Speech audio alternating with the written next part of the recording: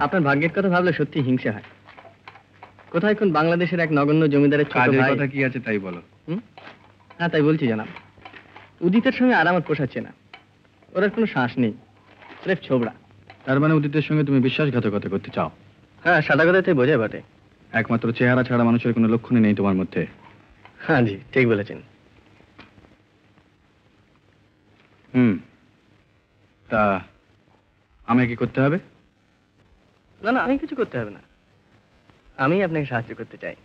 কীভাবে? সেটা এখনও বুঝতে পারছেন না? তাহলে কথাটা একটু খোলাসা করে বলি। আমি ইচ্ছে করলে ঝিন্দের গদিতে আপনাকে কায়েমি হয়ে বসাতে পারি।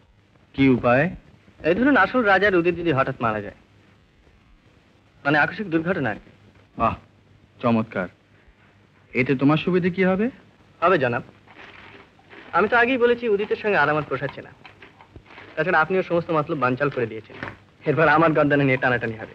অর্থাৎ আমি রাজা হয়ে তোমার গর্দনা রক্ষার প্রতিশ্রুতি দেবো। কেমন? প্রতিশ্রুতি? ওসবে আমার বিশ্বাস নেই। আমার প্রস্তাবটা একটু অন্য ধরনের। আমি একটা বিয়ে করতে চাই। কীরকম ত্রিবিক্রম সিং এর মেয়ে চম্পাবাইকে আমি বিয়ে করতে চাই।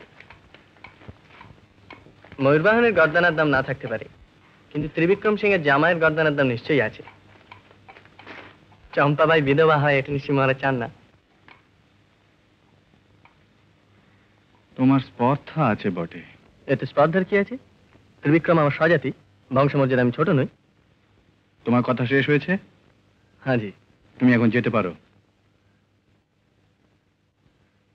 তাহলে আমার প্রস্তাবে আপনি রাজি নন। তুমি এখন যেতে পারো মৌর বাহন আজও আমাদের বোঝাপড়ার দিন আসেনি। আর একবার বলছি বাঙালি বাবু কাজটা কিন্তু ভালো করলেন না। ভয় তুমি অন্য কাউকে দেখিও মোর বাহন। তাহলে আমিও বলে রাখি ঝড় আর রানীকে তুমিও পাবে না শঙ্কর সিংহ পাবে না।